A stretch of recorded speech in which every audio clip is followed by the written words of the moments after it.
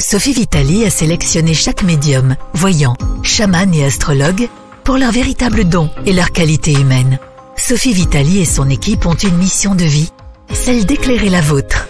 Nous sommes là pour vous au 0890 100 280, 0890 100 280 et profitez de notre offre consultation privée à tarif avantageux avec minutes gratuites sur affinita-corse-voyance.com. Sophie Vitali, c'est aussi des lives gratuits toutes les semaines sur Instagram et Facebook. Service Audiotel, 60 centimes par minute. Mystique Radio, musique et spiritualité en continu 24 heures sur 24, 7 jours sur 7. Bonsoir à tous, nous sommes ravis de vous accueillir pour euh, cette émission sur les liens karmiques. C'est donc la partie 2 de la précédente émission où nous allons approfondir. Donc euh, nous parlerons de réincarnation, de qu'est-ce qu'une âme sœur, les flammes jumelles ou âmes jumelles, qu'est-ce qu'une vie karmique. Une relation karmique peut-elle être enrichissante ou destructrice? Euh, Les archanges et les liens karmiques. Qu'entend-on par lien karmique? Peut-on renforcer un lien karmique positif? Comment un lien karmique négatif euh, se crée-t-il? Comment reconnaître sa famille d'âmes L'arbre séphirotique et les familles angéliques. Bref, nous aborderons tous ces sujets. Donc, je vous encourage à nous contacter au 09 77 19 54 55. Ce numéro est gratuit et non surtaxé pour partager vos expériences ou poser vos questions en direct. Voilà, voilà. Ce soir, je suis accompagnée de Lily Rose et de Rose. Bonsoir les filles. Bonsoir Sophie, bonsoir les auditeurs. Bonsoir Sophie, bonsoir Lily Rose, bonsoir les auditeurs. Alors les filles. bonsoir Rose. Ah bah ça commence bien. Excuse-moi. je t'en prie. Ah non mais deux, émissions à la suite, euh, voilà. voilà, c'est vrai que j'ai pas eu le temps de boire mon café, hein, je vous préviens. Donc, euh, qu'est-ce qu'une relation karmique? Alors nous avons déjà débattu sur ce sujet. Enfin, dans la précédente émission, c'était plutôt un combat de boxe. Euh, donc, qu'entend-on par lien karmique, les filles? Alors, les liens karmiques, pour moi, euh, sont en lien avec euh, des mémoires, des vies antérieures et des actions produites. C'est ce que j'appelle la loi de cause à effet. Et donc, euh, l'âme, lorsqu'elle s'incarne, décide de libérer des mémoires karmiques, décide de libérer des liens karmiques. Elle peut aussi choisir de libérer des liens karmiques en lien avec euh, ce qu'on appelle, ce que je nomme l'hérédité familiale. D'accord. Et donc, par rapport à ces liens karmiques, euh, il va se produire euh, dans, notre, dans notre quotidien, dans nos vies, par rapport à des relations amoureuses, par rapport à, à la famille, par rapport à notre activité professionnelle, par rapport à la santé, par rapport au domaine professionnel des problématiques récurrentes. Et c'est ce qui va engendrer euh, des prises de conscience et se poser la question euh, qu'est-ce qui se passe pour que je vive euh, souvent les mêmes déconvenus et qu'est-ce que je peux faire? Je synthétise. Bien sûr. Donc, gros, de manière très, très simpliste, les liens karmiques euh, ont pour conséquence, bien entendu, d'être logés à certains endroits de notre euh, corps physique. Euh, elle se situe dans le corps éthérique, émotionnel, dans le mental inférieur. Ça, les quatre corps que je viens de citer sont les effets. Les causes en lien avec les liens karmiques se situent plutôt au niveau de l'âme, du mental supérieur, bouddhique, atmique et monadique. Donc ça descend ça descend vers le bas. Et donc, pour apporter des soulagements euh, par rapport à ces liens karmiques, à ces euh, effets, ben, généralement, on se tourne vers euh, des praticiens, on se tourne vers des médiums pour éclairer ces difficultés. Oui, parce qu'alors, quand on parle de réincarnation, reprenons depuis le, début, mmh. la réincarnation, c'est ce qui nous permet d'avoir plusieurs vies et d'avoir notre karma euh, à améliorer ou d'améliorer notre karma. Euh, une relation qui est d'origine karmique, quand nous nous retrouvons dans cette vie, euh, c'est souvent euh, une personne que nous avons connue dans des vies précédentes et avec laquelle nous avons eu des liens affectifs et émotionnels étroits, mais pas que. On peut avoir été en conflit, avoir une, situation complexe à régler et une évolution commune. Alors moi je parle souvent de contrat d'âme. Alors peut-être qu'il y a des gens qui ne seront pas d'accord, mais je pense qu'avant tout ce sont des contrats d'âme. C'est-à-dire qu'on s'est dit, bon ben, dans cette vie-là, on se retrouve et on essaie de régler nos problèmes. Les choses que nous n'avons pas pu euh, régler euh, dans, nos, dans nos vies antérieures. Parce que ça nous permet d'avancer et de s'améliorer euh, tous ensemble en fait. Il peut y avoir aussi des conflits, euh, il peut y avoir eu des situations conflictuelles. Euh, par exemple, euh, je sais pas moi, un drame où il y avait plusieurs personnes mêlées et décider justement dans cette vie-là, dans la vie que nous sommes en train de vivre, de revivre l'expérience évidemment d'une autre façon, mais de régler ce problème. On parle aussi des âmes sœurs. Alors, la dernière fois, ça a été un grand débat. C'est une personne qui nous correspond tout particulièrement sur le plan mental et spirituel. C'est une personne avec laquelle nous, nous aurions des atomes crochus, avec laquelle vous avez de grandes chances de bâtir une relation fusionnelle, qu'elle soit amoureuse, amicale ou professionnelle. C'est-à-dire que c'est une relation en général qui est fluide. Mais qui, pour moi, euh, ne dure pas toute une vie, parce que nous avons différentes âmes sœurs. C'est là que la frontière est mince entre l'amour divin, l'amour éternel et l'âme sœur. L'âme sœur, nous pouvons avoir eu euh, être âme sœur avec un de ses frères et sœurs, avec un de ses enfants, un de ses parents, un de ses amis, avec sa patronne, enfin peu importe. Nous parlerons aussi des flammes ou âmes jumelles. Alors ça c'est le vaste débat, tout le monde a sa petite, euh, idée de la chose, euh, qui sont une essence et une origine divine. Euh, en fait, pour moi, je l'ai déjà dit à maintes reprises, euh, c'est avant tout un éveil spirituel.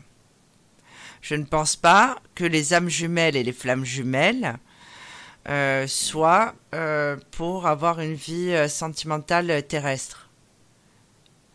C'est-à-dire, je m'explique, pour avoir une vie de couple ou euh, que le but final soit d'acheter une maison et avoir un chien et des enfants, je ne crois pas. Je crois vraiment que c'est un éveil spirituel, que ça nous permet d'avancer, pour avoir vécu l'expérience. Donc voilà. Voilà, voilà. Alors, qu'est-ce que vous en pensez? Alors, on va commencer par quoi? Alors, est-ce qu'il y aurait des auditeurs? Alors, euh, l'émission est rediffusée en direct sur, euh, sur Facebook, donc vous pouvez interagir euh, par, ben, par la messagerie de la vidéo, si vous le souhaitez. Nous poser vos questions et j'aimerais bien qu'on puisse débattre à plusieurs, c'est-à-dire que vous nous appelez. Philippe ne comprend rien. Bon, Philippe ne comprend rien. C'est bravo, pas de Philippe. ta faute, c'est c'est le Voilà. chromosome Y, hein, les filles, on va dire. Ben voilà, Philippe, euh, écoute, euh, tu réécouteras le podcast plusieurs fois. Euh, bonsoir Christine. Alors en même temps, je fais un petit peu tout. Donc, est-ce qu'il serait bon d'abord que nous parlions justement des, ben, des âmes sœurs? On va, on va faire un vite fait sur ce qu'on connaît le plus pour après rentrer dans les familles d'âmes, les contrats d'âmes et, euh, et tout le reste. Qu'est-ce que vous en pensez les filles? Super. Bon, alors les âmes sœurs. Tout le monde a sa petite idée. Euh, les âmes sœurs, c'est quelque chose qui est idéalisé dans les films, c'est mon âme sœur. On a beaucoup de gens en consultation qui nous appellent qui disent c'est mon âme sœur, comme si c'était euh, la finalité, encore une fois, c'était euh, de vivre le grand amour, de se Le marier. Voilà, alors qu'en fait, c'est, nous sommes des âmes qui nous aidons dans cette vie-là à évoluer. Alors oui, ça peut être au niveau sentimental, ça peut être encore une fois au niveau professionnel par rapport à des projets. Et euh, et il y a une idéalisation euh, de l'âme sœur. Alors qu'une âme sœur, ça peut très bien être, euh, être un enfant. Et, et- et c'est vrai, hein, je reste persuadée Oui. que euh, ces relations-là sont de belles relations. Évidemment, sur ces enfants, on va pas couper, quoique des fois ça arrive. Mais certaines relations d'âme sœur, moi, je- encore une fois, je pense avoir été mariée avec une de mes âmes sœurs euh, euh, qui s'appelle Frédéric. Et nous sommes toujours, euh, notre relation n'a pas changé. Nous étions amis avant, nous sommes mariés, ça, rien n'a changé. Et même séparés, notre relation finalement n'a pas changé non plus. C'est quelque chose qui reste stable. Mm. Il n'y a pas eu de déchirement et- et il n'y a jamais eu de problème en fait. Et mais la vie fait que euh, il m'a accompagné à un certain moment, peut-être pour euh, pour euh, pour m'aider à être celle que je suis aujourd'hui, puisque si j'étais restée certainement mariée avec lui, je n'aurais pas cette carrière. Mais c'est une préparation, je pense. on peut dire que c'est aussi des, relations de guérison. Aussi. Aussi. C'est surtout, euh, c'est surtout des relations d'éveil. C'est surtout euh, comme un accompagnement l'un pour l'autre. Euh, et comme pour s'aider mutuellement à avancer sur le plan terrestre. c'est la perception que j'ai. Euh, et il y a surtout une notion de, très très grande compréhension. Il y a une notion de euh, familiarité très très souvent au niveau des âmes sœurs qu'on peut retrouver euh, avec des enfants, qu'on peut retrouver avec des frères et sœurs, etc. Mais toujours dans un sens de réveil, de réveil à soi-même et à ce qu'on est venu incarner. Oui, c'est vrai.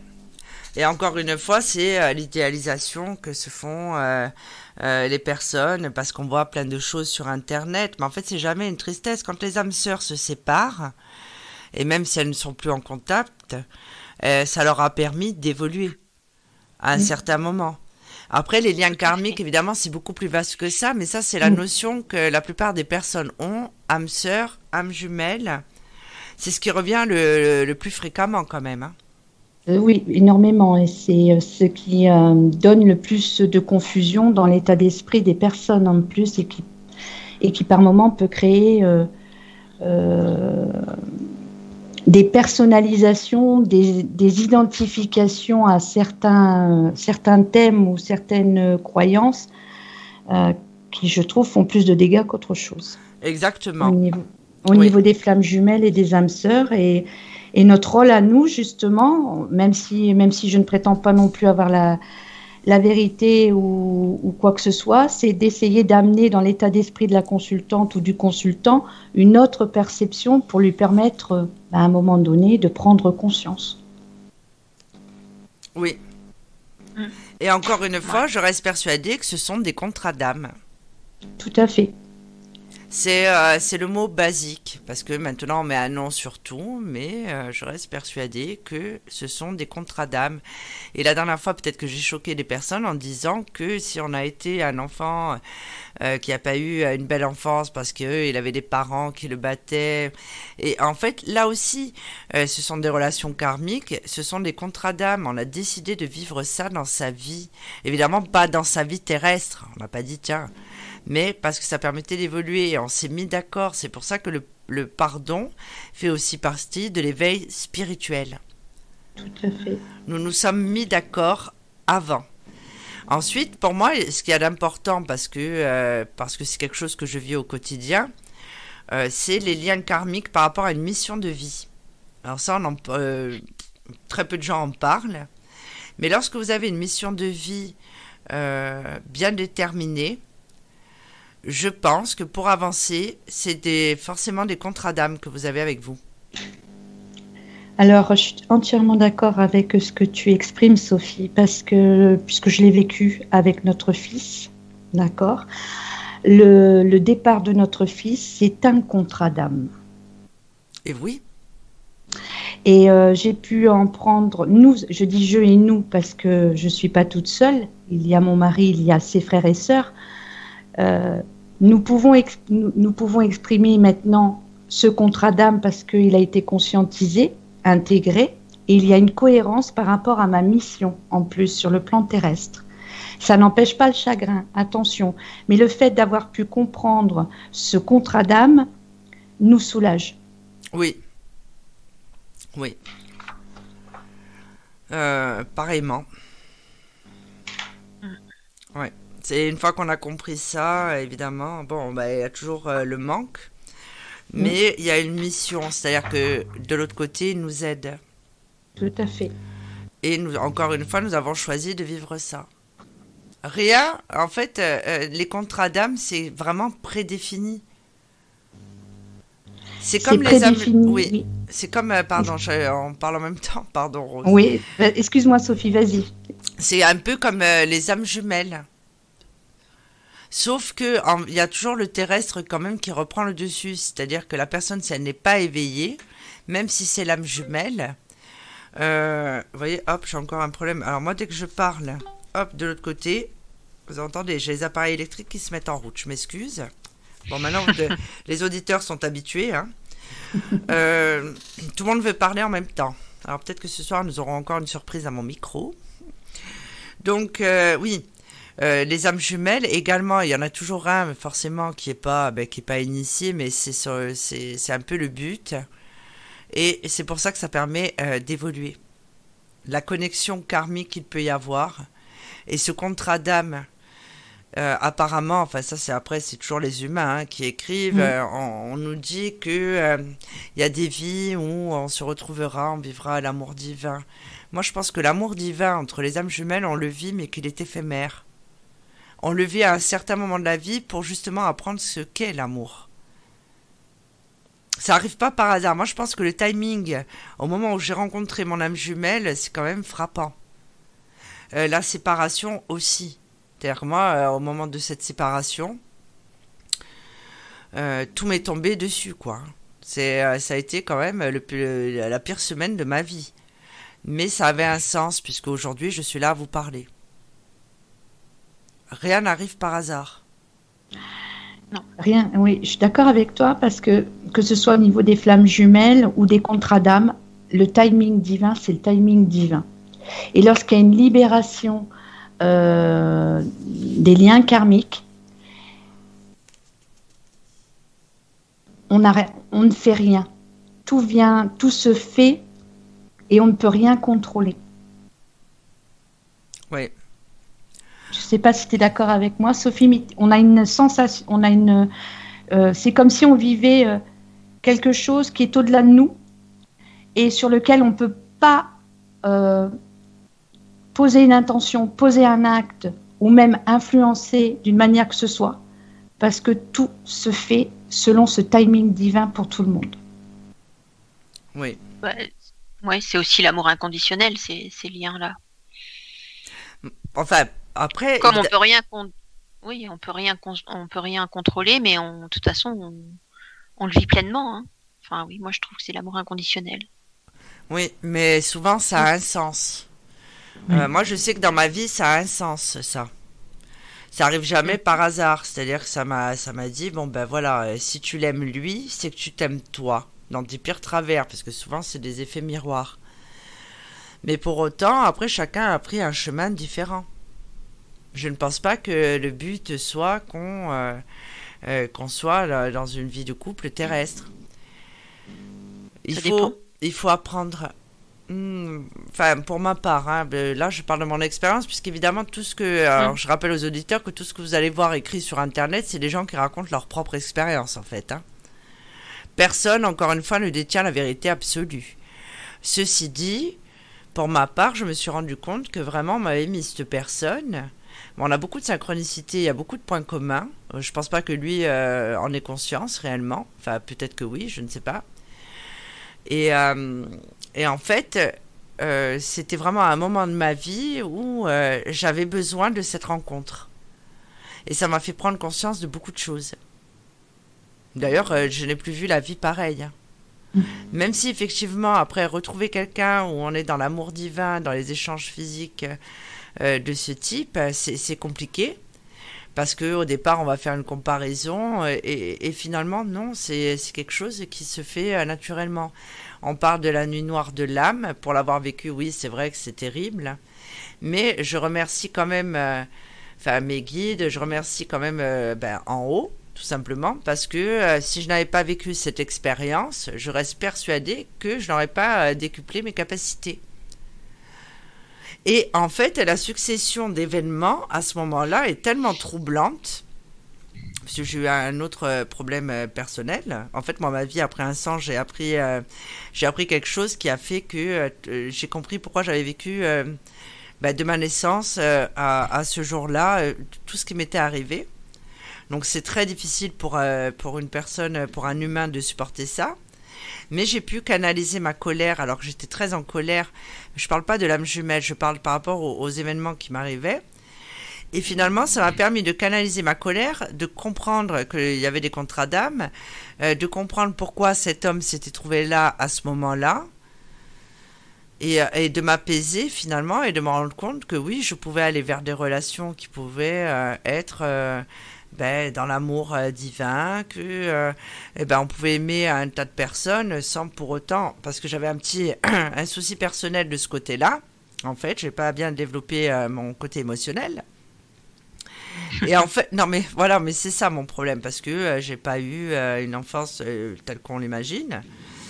Et donc en fait, oui, ça m'a permis d'avoir un déblocage de ce côté-là et je suis beaucoup plus apaisée aujourd'hui que je l'étais avant finalement. Et ça, et pour moi, c'est encore, euh, c'est encore un contrat d'âme, peut-être un peu plus, parce qu'on dit que l'âme jumelle, c'est l'âme qui est scindée en deux. Et c'est vrai qu'il y a des synchronicités, il y a des choses quand même qui sont euh, particulièrement, euh, ben, moi qui m'interpelle quand même. Hein. Je veux dire, le titre de mon livre, j'ai appris que c'était son vrai prénom à cet homme. Alors que je ne connais pas son prénom, c'était le prénom qu'on me donnait moi quand j'étais enfant. Donc mm. euh, oui, il y a des choses qui sont troublantes mm. et qui font et, qui peuvent euh, voilà justement faire penser euh, que oui, c'est l'âme jumelle. Bon moi après j'ai eu la confirmation par ma mère, ma mère défunte, qui elle bon m'a tout balancé comme ça là du jour au lendemain. Elle m'a dit oui c'est ton double machin, ça marche comme ça, ça marche comme ça. Bon. Après, je peux paraître pour une illuminée puisque je parle ben, comme, comme vous deux, hein, des médiums spirites. Donc évidemment, bon, on reçoit des informations. Mais ce qui me, ce qui m'interpelle le plus, encore une fois, sur les âmes jumelles, c'est que j'ai, beaucoup de consultations. Et chez Infinita Corse Voyance, nous en avons beaucoup, parce que c'est vrai que nous prétendons être des spirituels, ce qui est vrai. Et donc, nous avons 80% euh, de notre clientèle, 80% euh, de nos consultants euh, qui ont des capacités, qui cherchent à les développer, qui cherchent des réponses. Et en fait, beaucoup de gens appellent en disant j'ai rencontré mon âme jumelle. Alors c'est quand même incroyable que autant de gens aient pu rencontrer leur âme jumelle. Mm. Et ça, c'est un argument commercial. Oui, je, pense. Je pense. c'est une mode. Mm. Je pense parce que euh, finalement, euh, dès qu'ils rencontrent quelqu'un qui soit amoureux et que l'autre personne ne veut, euh, ne, veut pas d'elle, hein, ne veut pas d'elle ou de lui, ils pensent de suite que c'est l'âme jumelle.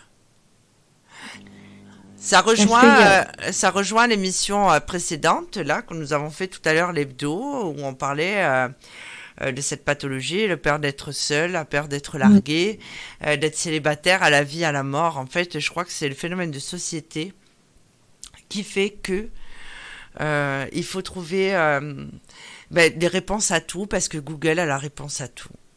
Oui, c'est ça. Mm. Et comme, euh, et comme ni plus ni moins, il y, a une, il y a un phénomène de société où euh, il y a un déni euh, de ressentir la souffrance aussi. D'accord? Quand je parle de souffrance, je parle des émotions, bien entendu. Et il faut aller vite, vite, vite, vite. Et, et donc, très, très souvent, il n'y a pas. La personne lit quelque chose qui va un peu résonner en elle et tout de suite, euh, bah, ça y est, euh, la réponse, euh, c'est ça, puisque dans les grandes lignées, ça correspond un petit peu dans ce qui est décrit à ce que, à ce que la personne vit. Et et ça pose des, grands, des, grands, des grands soucis quand même, parce que lorsque, lorsqu'on exprime à la personne que ben, c'est pas l'âme jumelle, il y, a il y a de très très grandes déceptions. Enfin, je sais pas pour vous, mais généralement la personne est très très déçue parce qu'il y a une souffrance euh, en elle euh, qui doit absolument être comblée par l'autre. Oui. Oui, c'est terrible. Et l'autre n'est pas forcément son, son, son, son, son, âme jumelle. Pardon, Sophie. Oui, parce que euh, c'est devenu un phénomène de mode et c'est comme ça. Il y a eu plein de dérivés euh, d'ailleurs là-dessus. Euh, le nombre de gens qui ont rencontré leur âme jumelle, c'est quand même incroyable. Qui ne sont pas forcément des spirituels, hein, ou qui sont dans mm. un éveil spirituel et qui en sont persuadés. Oui, c'est ça. Et, et c'est dommage parce que ça bah, ça vulgarise un peu le truc quand même. Hein. Énormément. Énormément, alors que c'est quelque chose Énormément. Qui, je pense que quand même, euh, pour euh, rencontrer euh, son âme jumelle, ou, je pense qu'il faut avoir un éveil spirituel quand même assez avancé, je pense. Parce que sinon, ça ne servira à rien puisqu'on n'en prendrait pas conscience.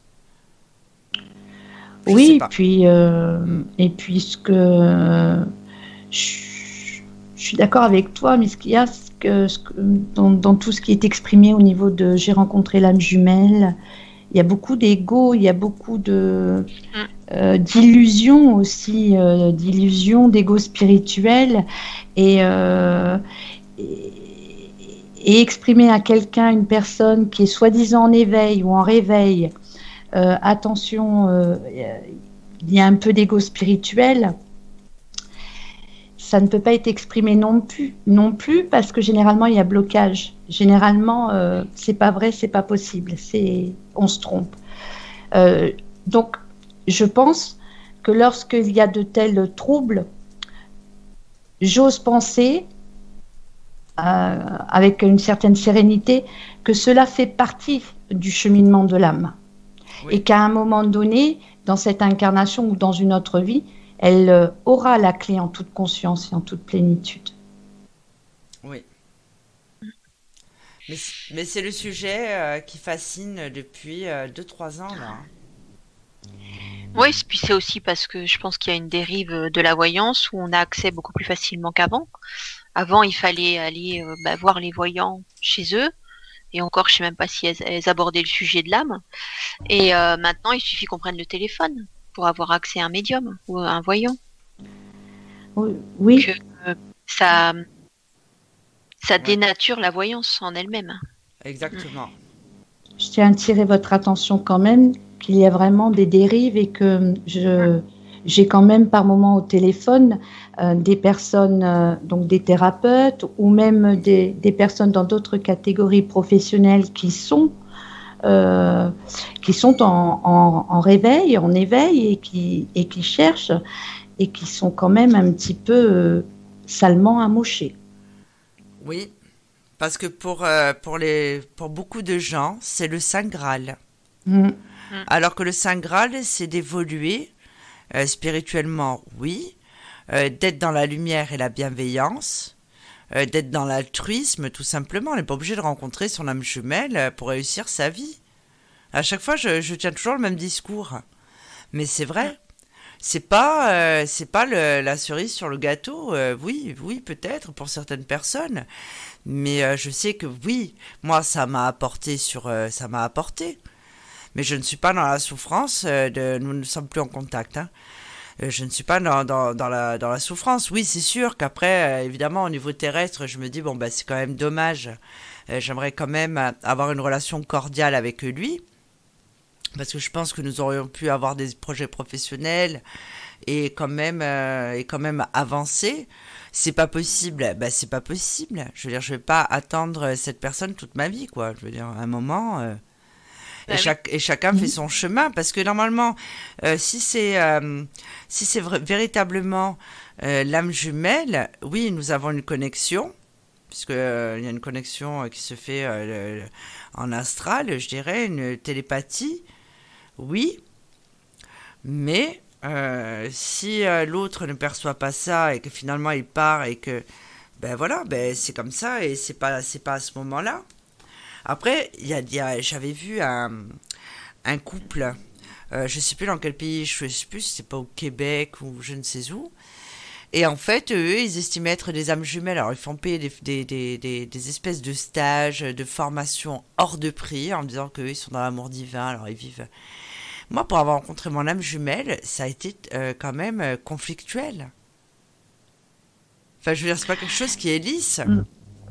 Pour, pour ce que j'ai entendu, euh, à, chaque, euh, à chaque fois, enfin, deux fois je l'ai entendu précisément, la rencontre de, de, de flammes jumelles, c'est le conflit, il y a une réactivité, il y a comme quelque chose en ébullition euh, au niveau des deux personnes. J'ai pas entendu une seule fois que c'était une relation calme, que c'était une relation de plénitude. Non, il y en a toujours un qui fuit. Mm. C'est comme Il y en ça. a toujours un qui fuit. euh, ça peut être aussi euh, l'environnement qui est contre cette relation aussi. Ah, je pense pas que forcément, le- c'est- pas le sentiment d'amour qui, euh, qui fait souffrir. Ça, peut- ça peut être tout le contexte autour de cette relation. C'est-à-dire que quand tu, tu rencontres ton âme jumelle, tu te retrouves face à toi-même. Donc Hmm. en fait, il y a un travail qui se fait, qui est énergétique. As la montée de Kundalini. Alors ça, je l'ai vécu, mais moi après, euh, bah, après la, séparation en fait. Et ça a été assez étrange parce qu'on, franchement, je pense qu'à ce moment-là, j'étais complètement perché. Hein. Je regardais les gens, je les voyais plus comme avant. Et, et dans ma relation, donc je suis partie la première, j'ai fui, bah, inconsciemment. Hein. Après, je suis revenue, après, lui, et finalement, c'est lui qui s'est enfui. Et, euh, et, je pense que le destin fera qu'à un moment, on se retrouvera euh, l'un face à l'autre. Ça, c'est normal, hein, l'un en face de l'autre. Il peut en être autrement. Parce que après, on se le trimballe jusqu'à la fin de sa vie. Il y a ou des on Non, on peut se retrouver que dans la vie d'après. Hein. Pas forcément dans celle-ci. Non, mais je parle au niveau terrestre. Il y a toujours quelque chose qui te ramène quand même à la personne. Euh, ça peut être des, des, signes, des synchronicités, des choses comme ça. Ça, oui, ça, je le vis euh, au quotidien, mais. Enfin, au quotidien, heureusement, pas tout le temps, mais par exemple, je peux ne pas penser à lui pendant 4-5 mois, et puis d'un coup, le matin, je me lève et j'entends son prénom. parce qu'on on me, parle, on me parle de lui. voilà, c'est comme ça. Euh, je parle pas au niveau terrestre, hein, évidemment. Je me lève de mon hein lit. je sais, c'est. Et, et, c'est vrai, l'idée rose, des fois, je te dis, mon Dieu. Ce matin, je me suis levée et je me demande pourquoi. On me parlait de lui, en fait, quand je me Mais ça, c'est par rapport au lien télépathique Oui. Enfin, moi, je l'explique comme ça. Hein. Même si euh, terrestrement, on se voit plus, on se parle plus, y a... quand c'est les vraies flammes jumelles ou âmes jumelles, je sais pas, mais quand c'est des vrais liens karmiques euh, comme ça, il y a toujours le côté télépathique conscient ou inconscient.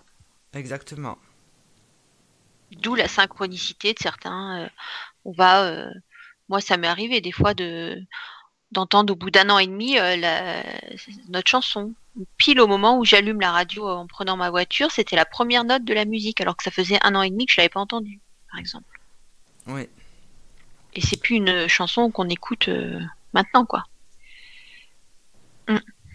Donc euh, ensuite, euh, on parle de... Alors ça, Rose va bien nous éclairer sur le sujet, euh, d'une vie karmique familiale. Ah oui. ça, c'est la spécialité de Rose. oui. Les liens, bah, les, liens karmiques familiales, c'est comme tu l'exprimais tout à l'heure, c'est ce ce que j'appelle aussi les contrats d'âme. C'est-à-dire que on choisit de se rejoindre au sein d'une même famille pour, euh, pour grandir, bien entendu, pour évoluer, mais aussi pour libérer euh, euh, des mémoires transgénérationnelles, pour libérer aussi au niveau familial ce qu'on peut appeler des malédictions, ce qu'on peut appeler des pactes, ce qu'on peut appeler des vœux, etc., etc., ce qui va permettre dans la lignée maternelle et paternelle de guérir et, et surtout de permettre à la descendance de ne plus vivre aussi euh, ces mémoires karmiques euh, familiales euh, qui peuvent se transmettre des parents aux enfants sur des dizaines de générations. Alors explique-nous un peu plus, ça, ça m'intéresse. C'est-à-dire que donc on a choisi de reconstituer cette famille parce que nous étions déjà une famille auparavant? Oui.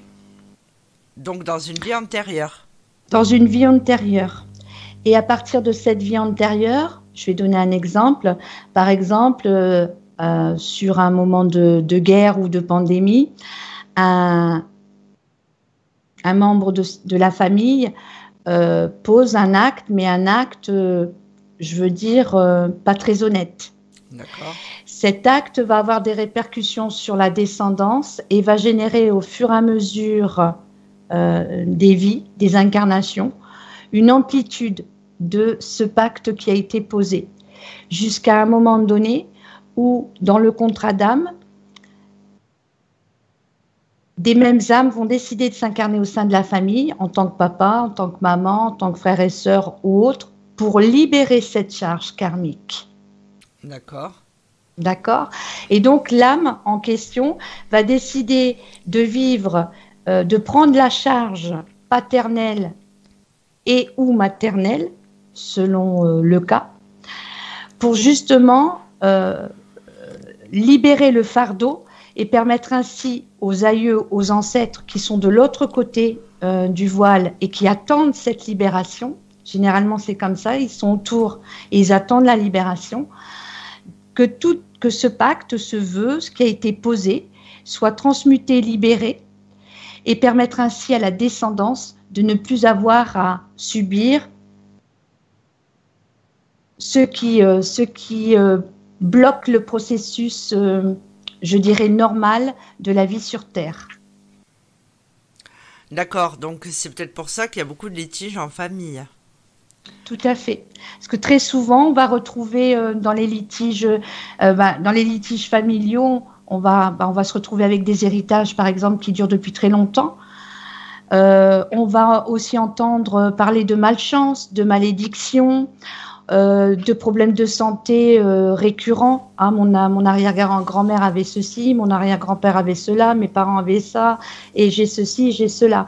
Et ce qui fait que très rapidement, on a une carte, je veux dire, euh, on a une carte des âmes, on a une carte des contrats d'âme, une lecture qui apporte des réponses concrètes et réelles dans ce que dans ce que vivent les personnes. Par exemple, on peut retrouver euh, sur une famille des malédictions qui datent par rapport à des, à des guerres. On peut retrouver euh, des pactes, des vœux de soumission, des vœux, des vœux où je ne te quitterai jamais. On va les retrouver dans la descendance des filles, par exemple.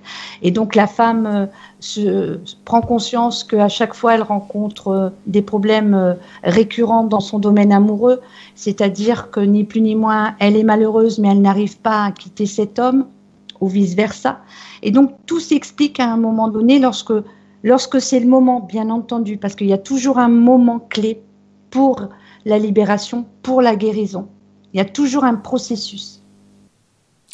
D'accord, mais est-ce que, euh, je sais, il y a encore une question bête hein, de la blonde, mais justement, par exemple, moi, je, je, je, fais bien la différence entre la vie terrestre mm. et, euh, et la vie spirituelle. D'accord mhm. C'est-à-dire que euh, par rapport à ma famille, c'est pas des gens avec qui j'ai réellement de contact, euh, sauf mon frère et ma soeur, mais, mais justement, euh, je pense pas les retrouver dans une autre vie. C'est, pas forcément des gens avec qui j'ai des liens. C'est parce qu'il fallait que tu coupes le lien sur, cette vie-là. Pardon, je bégaye. Ah, peut-être que c'était tout simplement ça, en fait. Oui. choisi. Ouais. Comme euh, par exemple, j'ai choisi une famille qui euh, vraiment une enfance très très compliquée, qui refusait tout ce qui était lumière. Ah, ben j'ai choisi pour oui et j'ai choisi de, en fin de compte, j'ai compris et même mon fils fait partie euh, de notre fils fait partie aussi de de la libération des mémoires transgénérationnelles sur la lignée maternelle. C'est-à-dire, on est, il est venu pour libérer dans la lignée maternelle euh, tout, ce qui était en, tout ce qui était en lien avec le décès des garçons. D'accord. Et ça, j'ai compris la cohérence et la, avec euh, mon enfance et le fait que voilà, c'est les liens étaient coupés, tout le monde est heureux, tout le monde est content, et maintenant, voilà, maintenant je vais incarner pleinement ce que je suis venu réaliser. D'accord. Ouais, c'est la famille des âmes en fait. Il y a la famille terrestre et la famille des âmes. Exactement. Mm. Ceci dit, selon la mission que nous avons à réaliser sur Terre, notre mission de vie, euh, on peut être amené à retrouver sa famille d'âme aussi dans son professionnel. Moi, mm. j'en suis convaincue. Hein. Ah, moi aussi, tout à fait. Ah oui, Sophie. Hein. On s'est fait. Ben, en fait, oui, on s'est fait la réflexion. Euh, parce que euh, nous pensons, et même Baswan m'a dit, il y a quelque chose. Baswan. Il m'a dit, Sophie, il y a quelque chose. Quand, euh, quand je te vois, il y a quelque chose. Tout le monde dit. Et, en fait, c'est vrai que nous sommes une équipe qui est soudée. Mais pas que, c'est pas que le côté professionnel. C'est-à-dire que nous avons tous une mission, nous savons laquelle. Et, c'est pour ça que je dis toujours que Infinita Corse Voyance, c'est pas Sophie Vitali. Euh, c'est pas que Sophie Vitali qui est là, qui est, euh, non, c'est un ensemble de personnes. Sinon, euh, ça ne pourrait pas exister. En fait, moi, j'estime que c'est une grande famille. Mm. Et je pense que nous sommes une famille d'âmes. Parce que on ne peut pas progresser seul. Ça, l'être humain ne l'a pas compris. L'être humain est individuel dans sa façon de procéder. Il a un ego surdimensionné. Donc il se dit, voilà, moi je réussis, ben c'est moi, c'est moi le patron, c'est moi qui fais ci, c'est moi qui fais là. Et puis les autres, non. Alors qu'en fait, tout le monde, dans des entités commerciales, tout le monde participe. Nous, nous sommes dans le spirituel, donc c'est encore autre chose. Puisqu'après, évidemment, j'ai monté mon équipe et euh, j'ai la radio, euh, j'ai d'autres projets là qui vont sortir, qu'on vous révélera plus tard. Et euh, tout ça fait que si je n'avais pas les personnes que j'ai avec moi aujourd'hui dans mon travail, je ne pourrais pas les accomplir. Donc moi, pour moi, ce sont des contrats d'âme qui sont venus m'aider parce que nous avons tous besoin de progresser, nous avons tous le même but. C'est pour ça que nous nous en sommes rendus compte. Oui. C'est vrai? Tout à fait. Oui, oui, oui. c'est ça. Et puis parce que euh, comme nous sommes dans un basculement euh, euh, énergétique très, très puissant, on est sur un, un, éveil, sur des éveils de conscience euh, l'ego surdimensionné, l'être humain euh, conscientise de plus en plus que tout seul, il n'est rien. Et donc, ce qui fait que même une entreprise euh, commerciale, que ce soit au niveau du patron ou des salariés, l'un sans l'autre, c'est plus possible.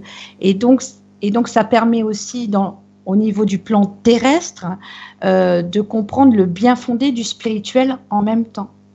c'est la perception que j'ai. Bah, de toute façon, euh, même au niveau de notre équipe, il y a des personnes qui sont parties parce que cet état d'esprit leur, leur convenait pas. Sans dire qui c'était, Sophie, mais tu es bien d'accord. Oui. Ah, on n'a pas besoin de se forcer, hein, de toute façon. Hein. Ça, se fait naturellement, en fait. De toute façon, la cohésion d'un groupe repose sur sa compréhension, sa complétude, et le fait d'être interdépendant et non dépendant. Et c'est ça qui fait la force euh, d'un groupe et c'est ce qui est en train de se produire, euh, je dirais, euh, pour nous, là, où, là avec toi Sophie, comme cela va se produire pour d'autres personnes dans des entreprises. Et on le voit bien de toute manière avec la floraison des nouveaux concepts, des nouveaux projets qui fleurissent de partout, de partout dans le monde, même si les informations n'en parlent pas. Oui, c'est vrai. De toute façon, euh, on peut pas, peut pas y échapper. Hein. C'est euh, et heureusement qu'il y a ces contrats d'âme parce que sinon on serait bloqué dans notre évolution. C'est là qu'on arrive au sujet épineux des liens karmiques toxiques.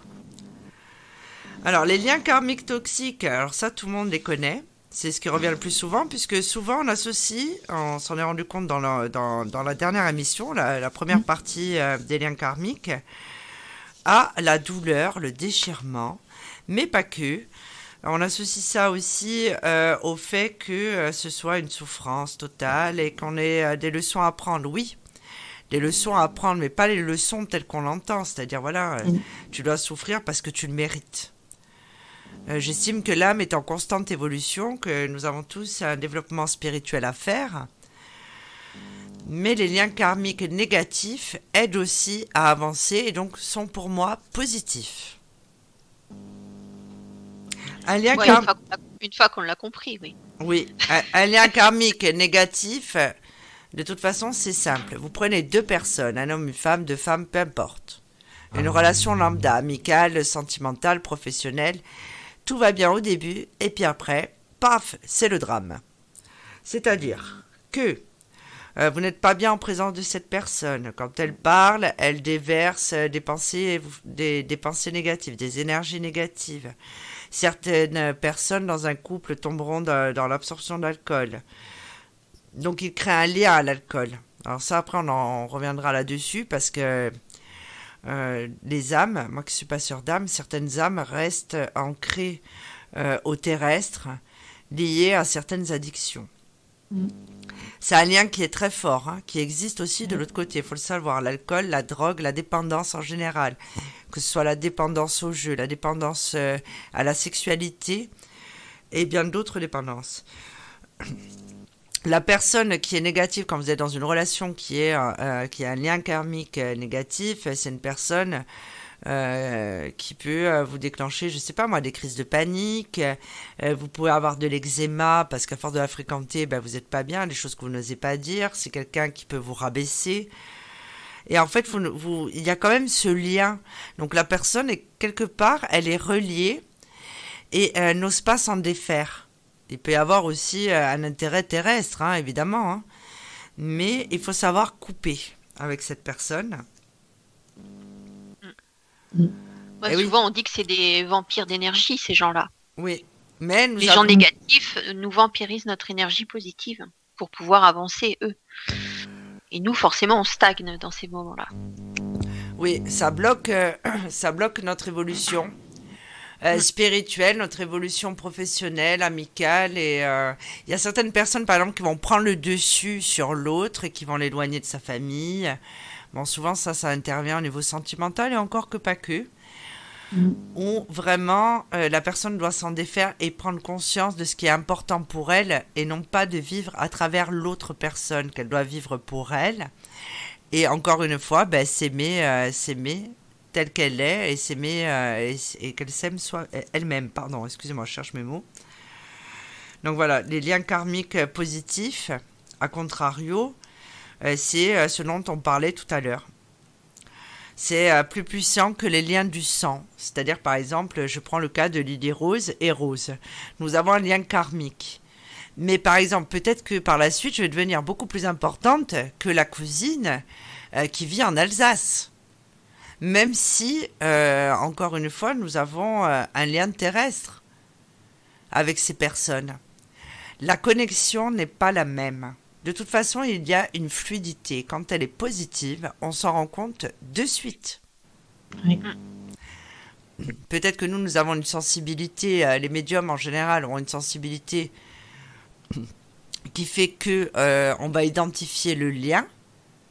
Et encore que pas que, parce qu'il y a certaines relations karmiques négatives qui se font passer pour des positives. Tout à fait. Et, qu'on et qui, se doivent d'être vécues et, euh, totalement dans la, dans la chair sur le plan terrestre. Oui, il faut les vivre à fond. Et après, à savoir à quel moment il faut couper, parce qu'à un moment, vous êtes obligé de couper.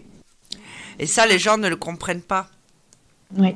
C'est comme le lien avec les âmes sœurs. Je veux dire, quand c'est terminé, c'est terminé. Oui, c'est dommage, mais voilà, c'est dommage.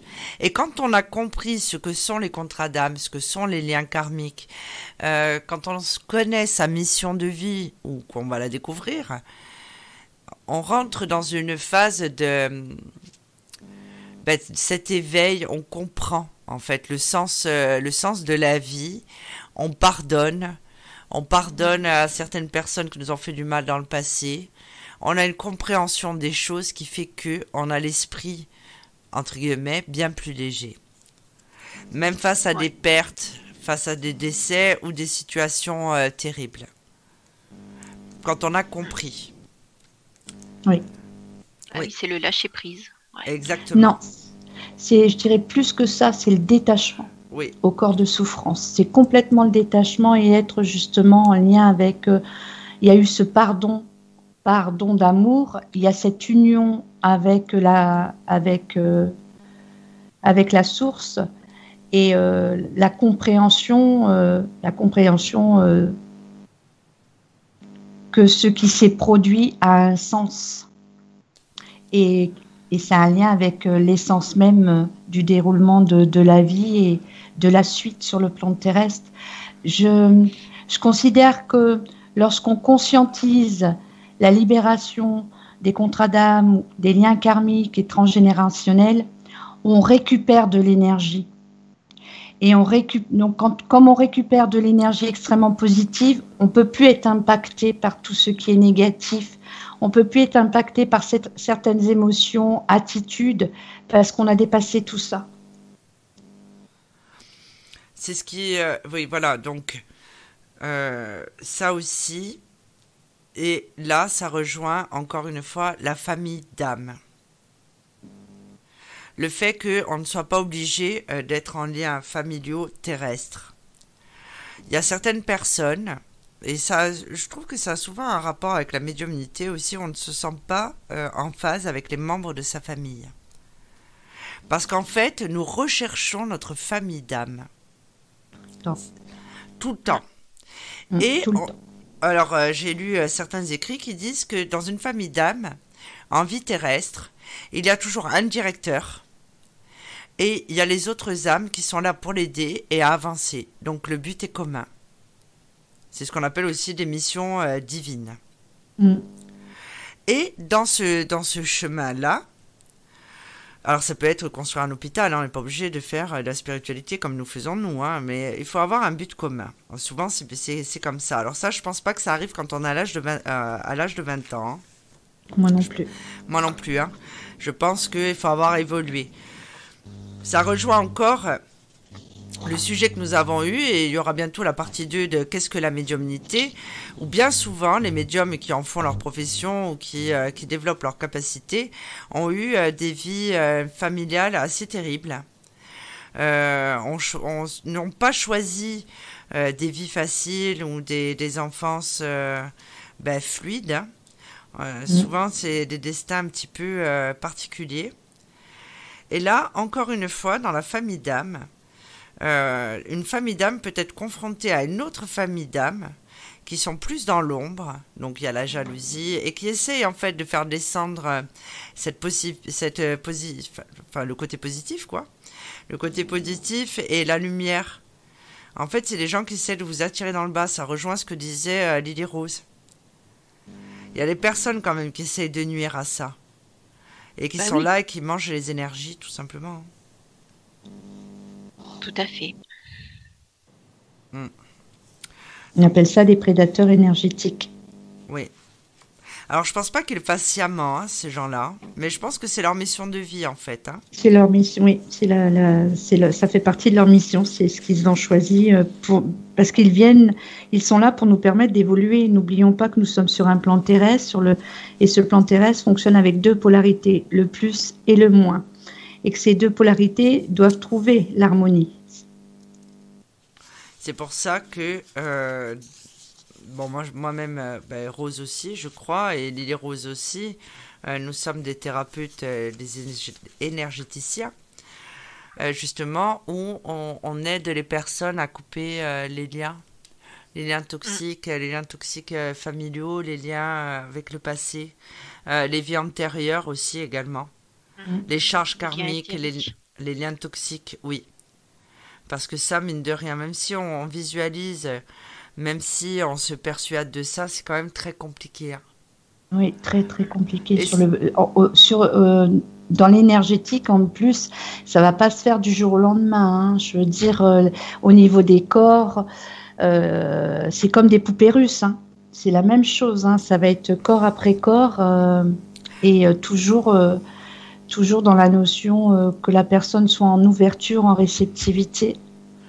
Oui, parce que pas- il faut que la personne, même la personne qui consulte, qui va demander un soin, fasse un travail Oui. intérieur. C'est pas Intérieur. seulement le, le thérapeute, c'est un travail intérieur. Il faut en avoir euh, conscience. En fait, il faut prendre conscience de tout ça pour pouvoir avancer.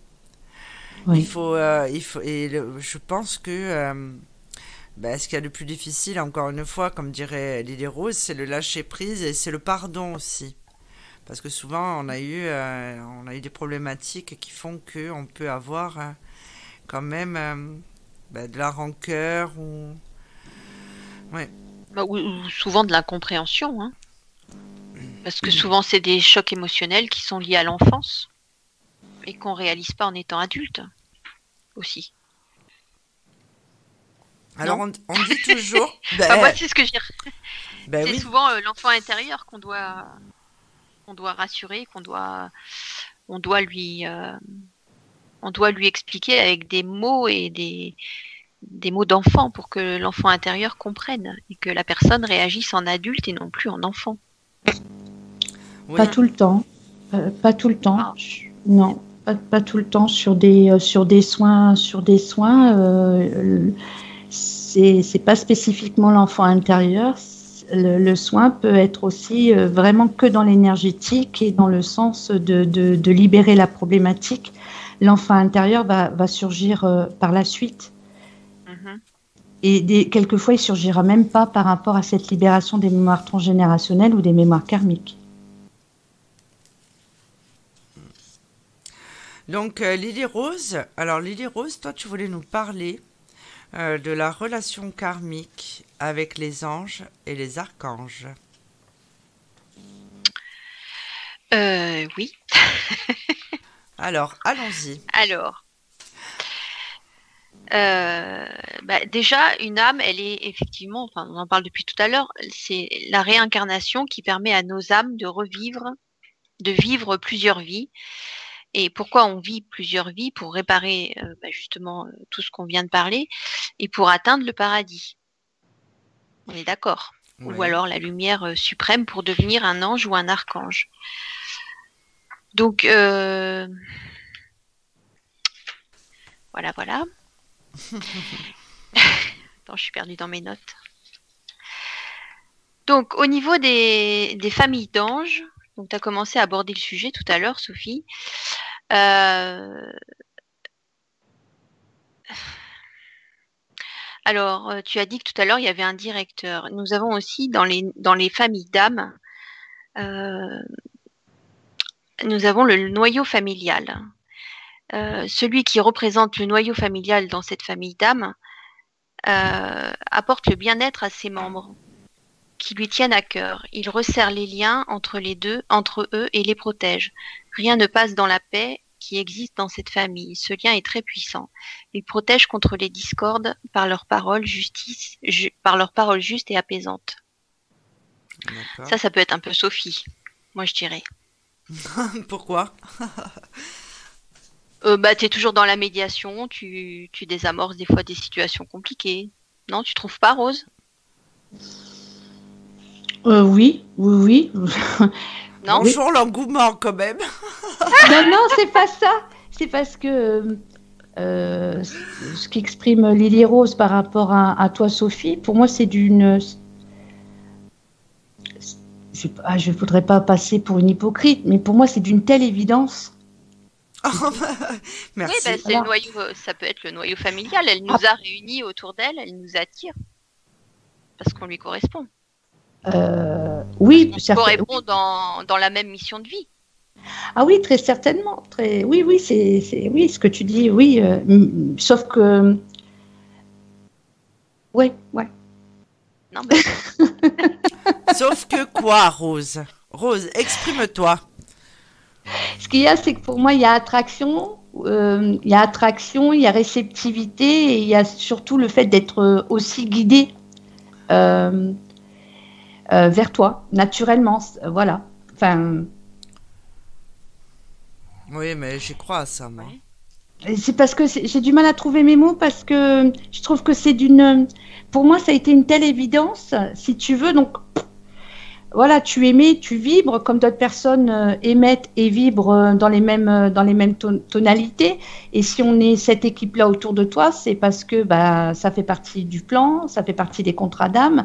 Et pour moi, c'est d'une. Voilà, c'est vrai que je voudrais pas choquer les auditeurs, mais c'est d'une telle évidence que tu viens de dire, Lily Rose. Mais cette évidence, je la rencontre aussi avec d'autres personnes.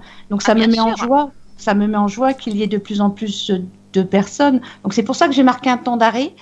Euh, ce n'était pas un faux engouement, mais pour moi, c'est une évidence. Voilà. Oui, c'est vrai, on s'est fait là, cette réflexion. Vas-y, continue, les Roses. Les Roses, tu veux qu'on fasse une, une, une pub, n'importe quoi Qu'on fasse... si tu veux. Lily Rose vous présente. Non, mais c'est pas ça. Non, est-ce que tu veux qu'on fasse une pause histoire de. Oui, si tu veux. Oui, Alors, oui. on fait une petite pause et on revient tout de suite. Mystique Radio, musique et spiritualité en continu 24 heures sur 24, 7 jours sur 7.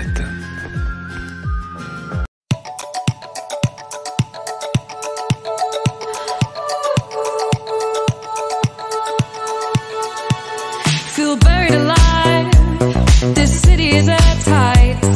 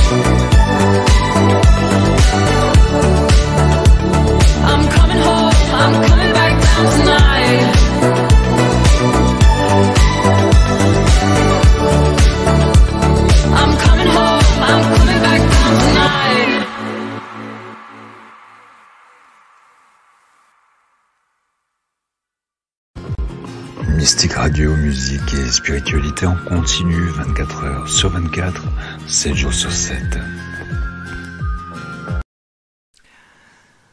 Nous sommes de retour. Lily Rose s'est reprise. Lily Rose a relu toutes ses notes en deux secondes avec un verre de Contrex à la main. Alors, Lily verre de Rose. whisky. un verre de whisky. Alors, Lily Rose, on t'écoute. Oui. Donc dans une famille d'âmes,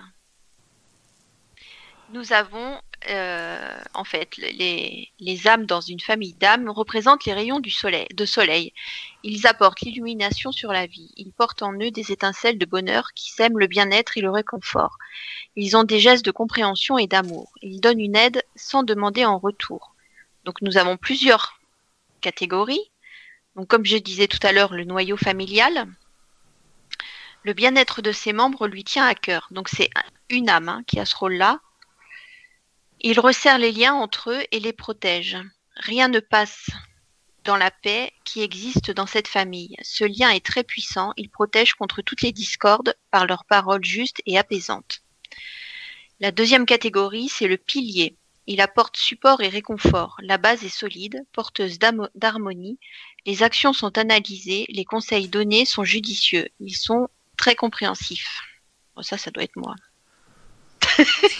Ben vas-y, Dites- jette pas des fleurs, dites- vas-y. Bah oui, écoute, tant qu'à faire, dites-moi hein, si vous êtes d'accord ou pas. Alors ensuite, on a le rassembleur. Il est proche du directeur. Leur union provoque les événements. On organise des activités en famille. Tous se rassemblent et sont présents pour profiter de l'énergie des autres. Ensuite, il y a le facilitateur. Il veille au bon déroulement du plan de vie. Il apporte des idées pour réaliser des projets. Ça, C'est Rose. travail Comment? Ça, c'est ton rôle à toi, Rose. Moi, oui, je, oui, oui. C'est un travail d'équipe. Chaque rôle est bien défini pour réaliser les objectifs. Les positions faites sont efficaces. Ce sont de bons coordinateurs. Les bons mots sont donnés pour apporter un réconfort devant les problèmes et la guérison de l'âme. C'est un soutien. Bon. Ensuite, nous avons le messager. Il prend des nouvelles. C'est un peu le journal familial. Il connaît les réponses. Et en dernier, la bouée de sauvetage.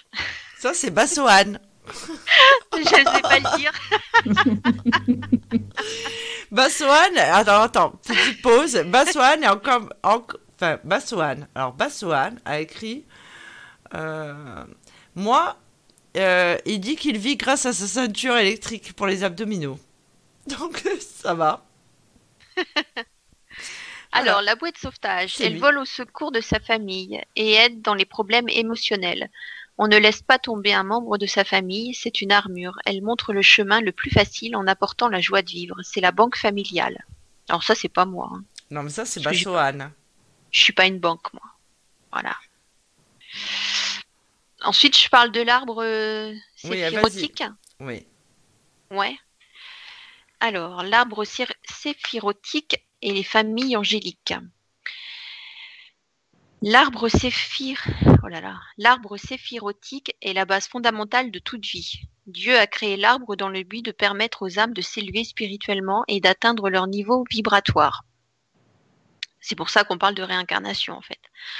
L'arbre séph- séphirotique est composé de neuf cœurs angéliques. Ces cœurs représentent les différentes étapes que l'âme doit franchir pour parvenir au plan divin.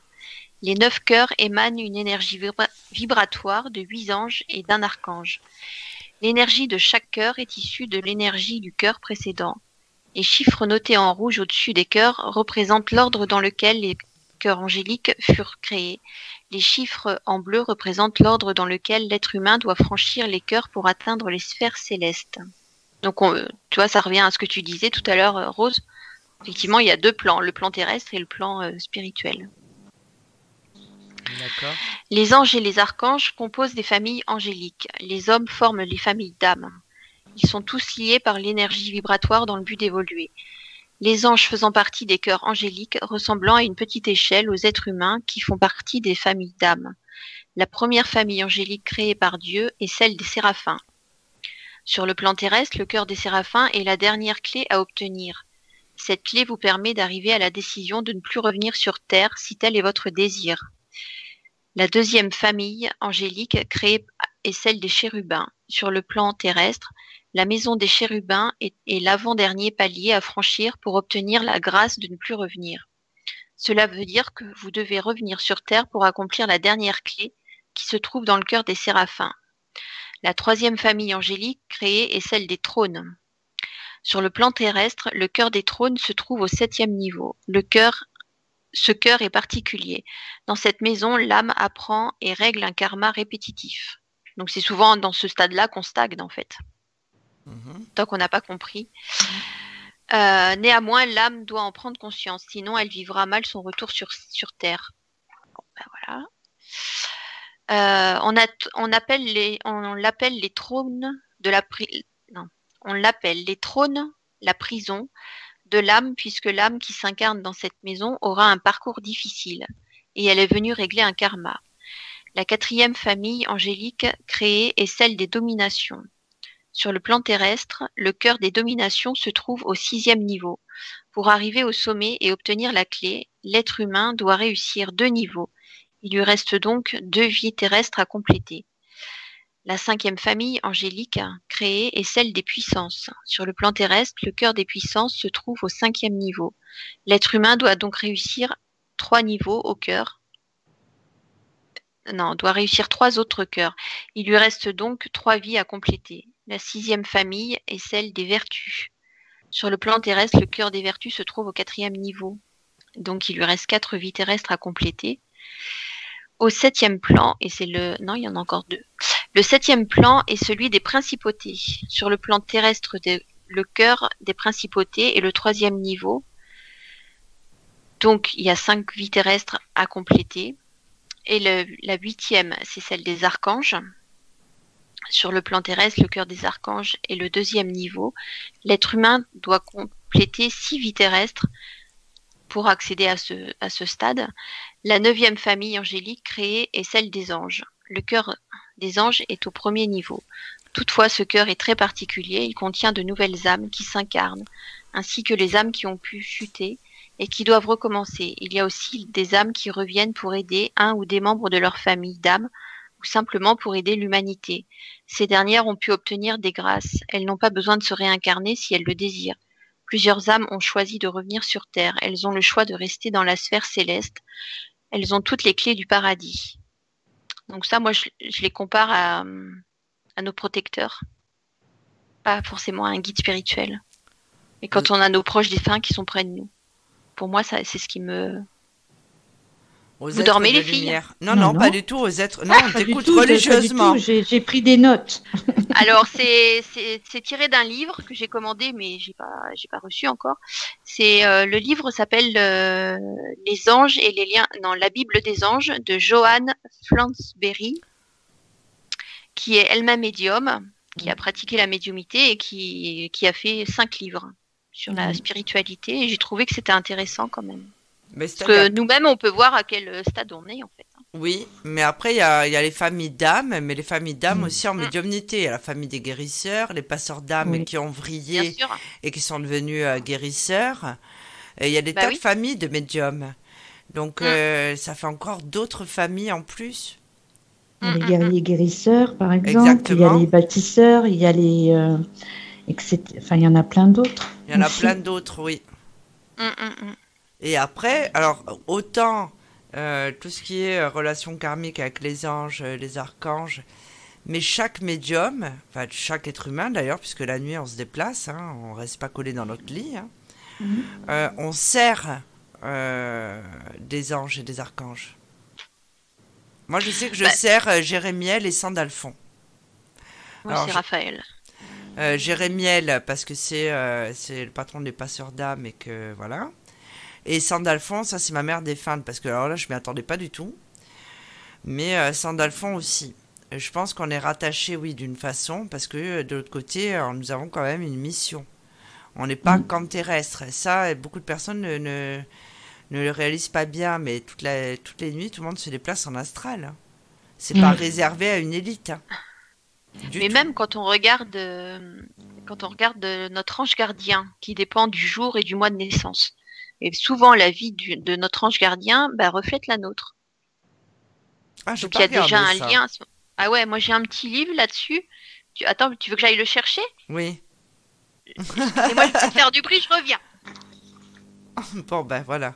Maintenant que Lily Rose est partie, on peut dire du mal d'elle, oh là là. Donc, euh, oui, euh, ben, c'est vrai. Les, les familles d'âmes, hein, les familles euh, de médiums. Il y a plein de familles, finalement. Oui, il y en a plein. Même Mais- qu'on est en- Je pense qu'on est même en train d'en découvrir des nouvelles. Ben oui, puisque nous n'avons pas la, la connaissance absolue hein, pour le moment. faut le Tout savoir, fait. on est qu'aux prémices, là. Excusez-moi, c'est ma chaise qui est tombée, je ne suis pas morte. si vous avez entendu un gros boom. Non, c'est-à-dire qu'on voulait dire du mal de toi, puis tu es revenu trop vite. Et ouais, c'est pour ça que je l'ai Bon, par exemple, je suis né le 11 mai 79. Comment s'appelle mon ange? J'ai jamais regardé. Alors, peut-être que j'ai regardé, oublié. chercher. Parce qu'alors là, je suis Euh. curieuse quand même de voir, d'en- d'entendre ça. Attends, mais attends, faut que je regarde là. Ça fait longtemps que j'ai pas regardé. Pas de. Ah, j'ai pas pris le bon. Ah, Attends, ça y est. Non, c'est pas le bon livre. hein. J'en ai deux. Je reviens. bon, bah, on va vraiment finir par dire du mal de Lily Rose. Hein.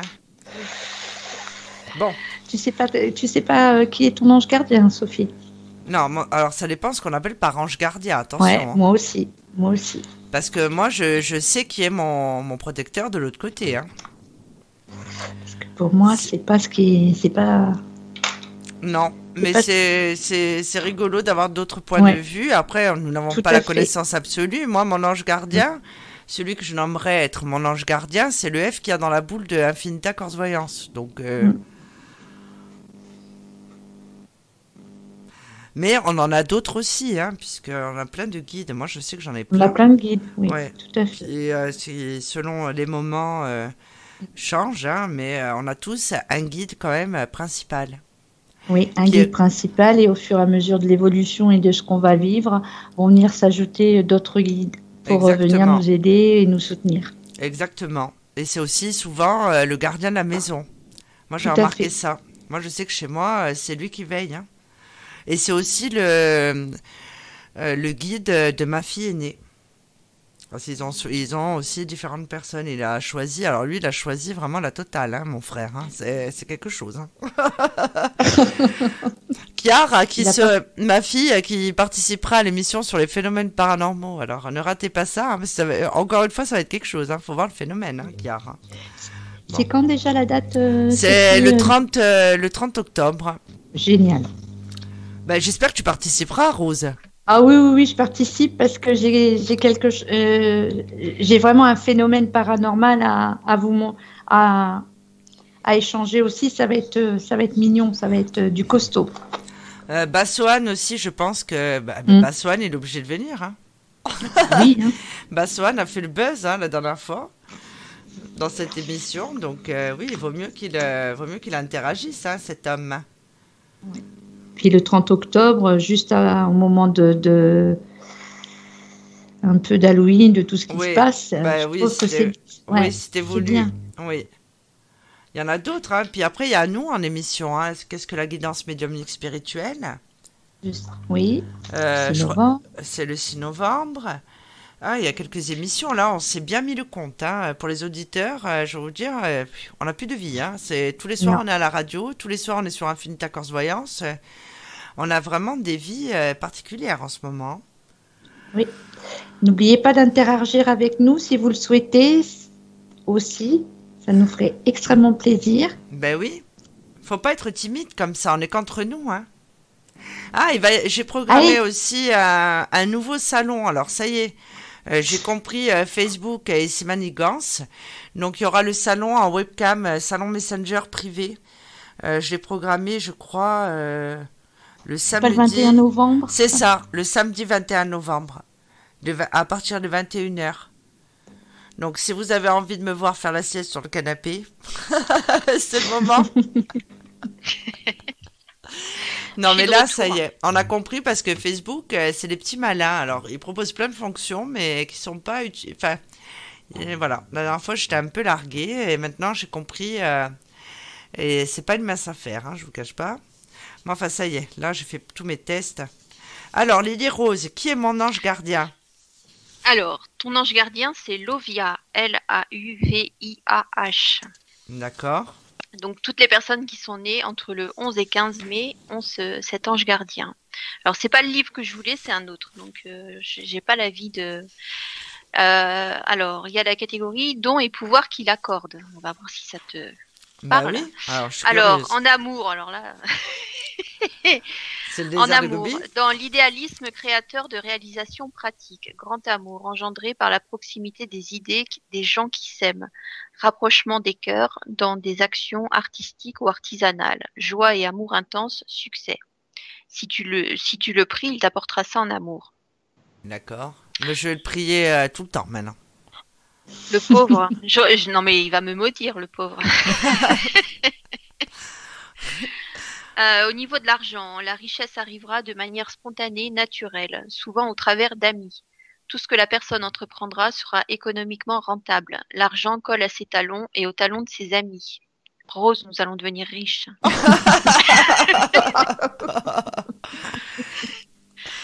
Euh, au niveau de la santé, corps plein de vitalité, éviter les excès de tabac. Ah, tu vois, Sophie, arrête Ah. de fumer. Va falloir que j'arrête de fumer. Mais je vais, j'ai rendez-vous, euh, je vais prendre rendez-vous avec Jean-Jacques Burtin.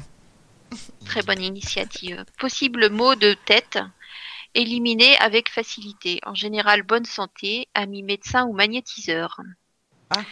Au niveau de travail, Ah, c'est ce que nous grande intéresse. renommée, bah, Ah. grande renommée dans la profession que la personne exercera. Bon. Surtout en, en tant que fabricant ou commerçant de produits symbolisant la victoire.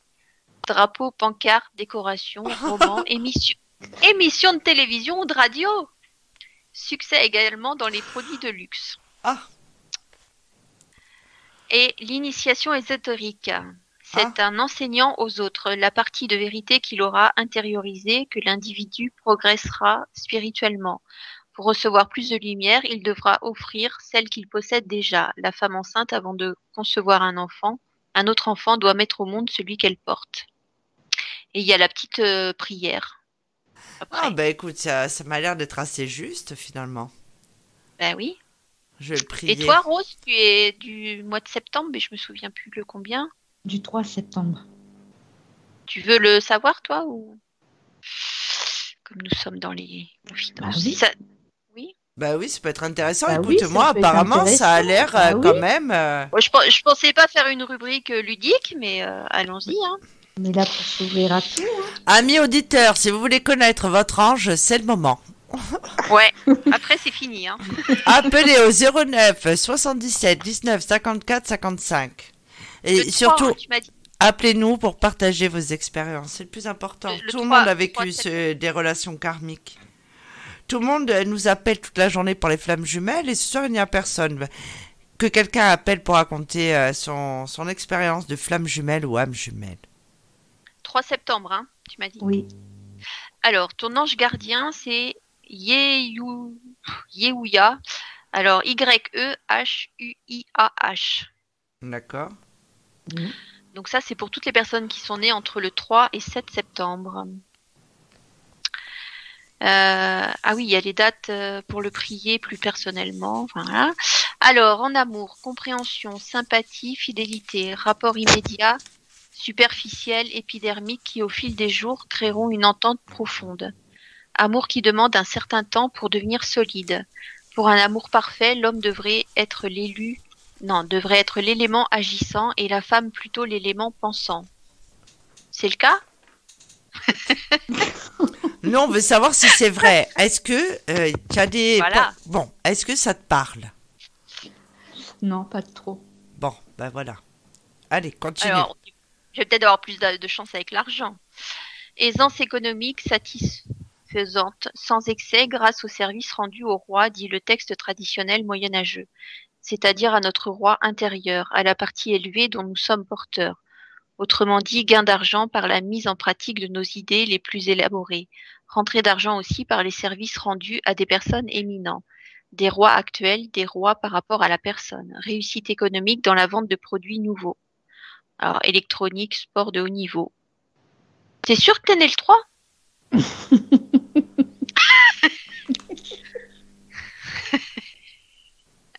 Ouais, je suis née le 3. Non, je, je regarde le 2. Le 2, ça va mieux. Hein. Moi, je vais dire que t'es né le 2. Hein. bon, après, euh, oui, tu travailles pour notre reine, Sophie. Oh ben. Oui. Oui, quand tu, quand, tu, quand tu le mets au féminin, oui. Tout à fait. Alors, santé. Cet ange offre une, cuirasse préventive, un bouclier invisible contre, toutes les intoxications possibles. Mais bien entendu, en cas d'intoxication, consultez rapidement un médecin. Remise en forme par la marche à pied, sauf quand tu tombes la tête. Hein Dans les montagnes de la moyenne altitude, comme la montagne des anges, de facile accès. C'est ça. Par contre, là, la santé, c'est toi. La santé, oui, oui. La santé, c'est la carapace et tout, c'est exactement ça. Tu vois, des fois, il y a des choses vraies. Au niveau du travail, euh, en le pri- c'est- alors ça, c'est toujours en le priant, hein, ce que tu peux obtenir. Par son activité, l'individu fera bouger le monde. Il réussira dans toutes sortes d'inventions et de, ou de nouveautés, projets originaux, novateurs concernant le sport, les, explora- les explorations sous-marines, la spéléologie, l'électronique. Bon, ils se sont un peu plantés sur les catégories professionnelles, mais euh, mais bouger le monde, oui. Nouveauté, invention, en quelque sorte, avec tout le travail que tu fais, euh, voilà. Alors, au niveau de l'initiation ésotérique, c'est dans l'action que la nature inférieure, intérieure sera illuminée par l'instance supérieure le plus proche de la personne, votre, ton ange gardien. C'est Ah ben. bien ça.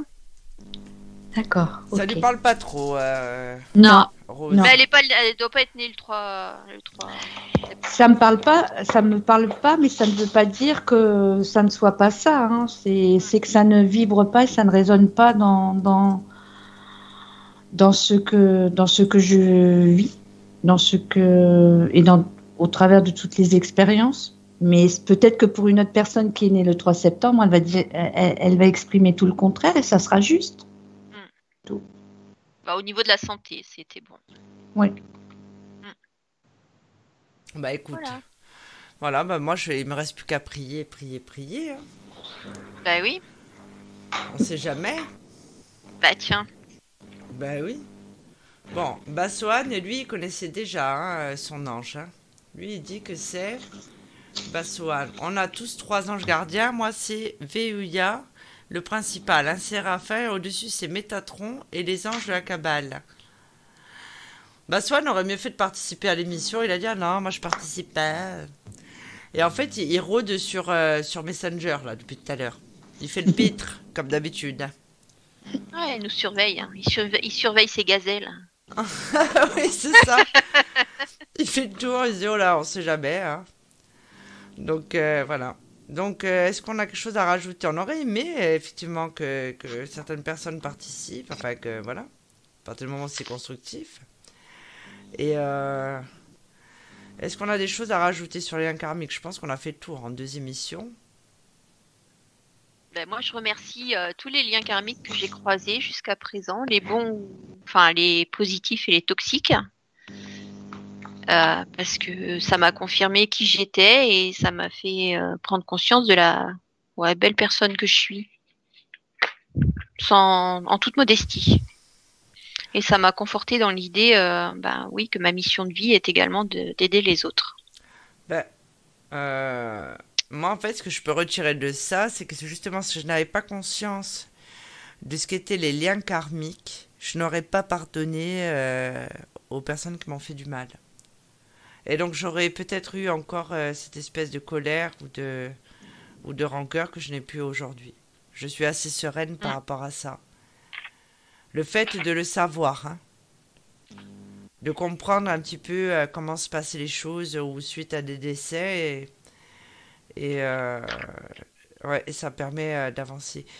Les liens karmiques, moi je pense que après effectivement on les garde aussi de l'autre côté.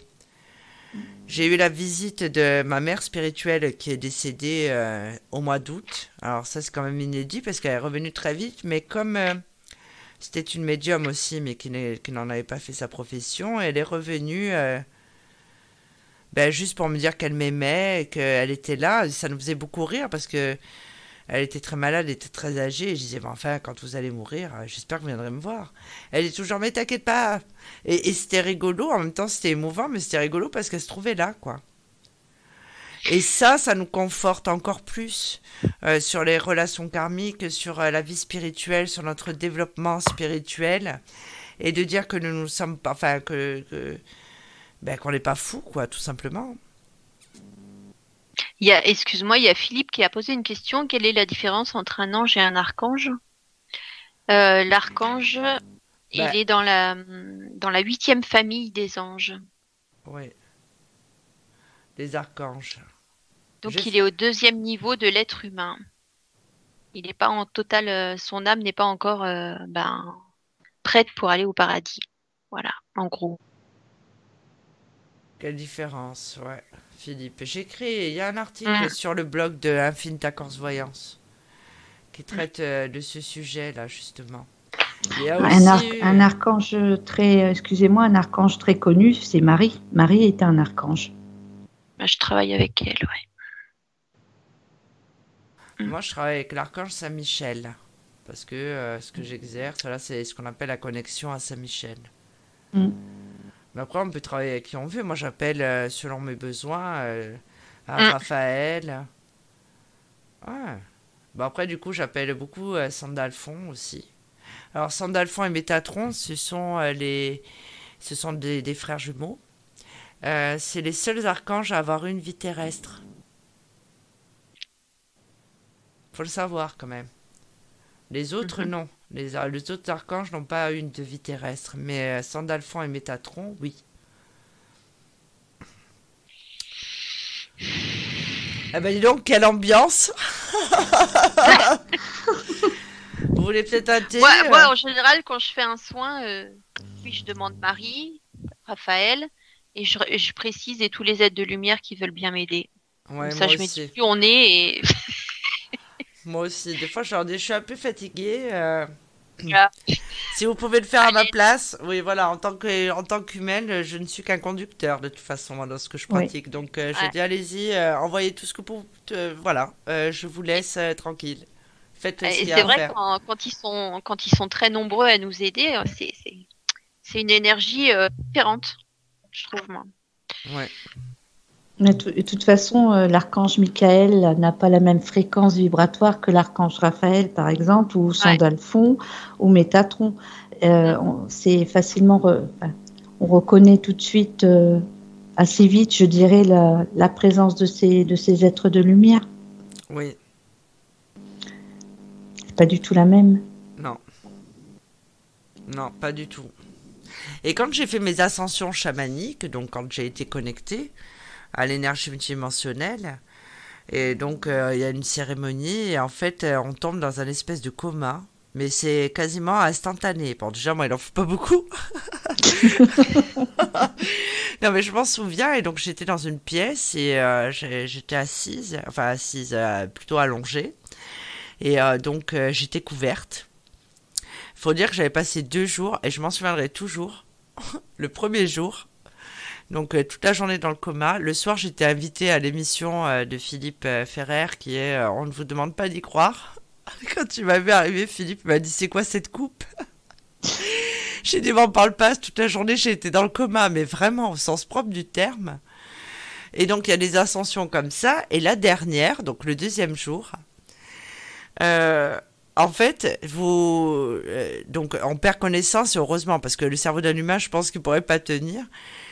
Et en fait, vous rencontrez Saint-Michel. Et moi, je disais, faites-moi perdre connaissance, faites-moi perdre connaissance, parce que Saint-Michel, quand même, euh, quand il s'est fait construire le Mont Saint-Michel, il a trépané euh, l'architecte. Il lui a enfoncé deux doigts dans la boîte crânienne. Et donc je me dis, et, c'est vrai que bon, c'est pas n'importe qui, c'est le prince de la musique céleste. Et je me disais, et pourtant je perds des connaissances à chaque fois. Et je me disais, la dernière, je me suis dit, mais pourvu que je perde connaissance. Et en fait, j'ai dû mettre au moins euh, 3-4 minutes à perdre connaissance. Et je me disais, il faut que je perde connaissance, je vous en supplie. Et donc après j'ai été réveillée donc par euh, le maître chaman. Bon j'étais au fond du trou hein, quand même.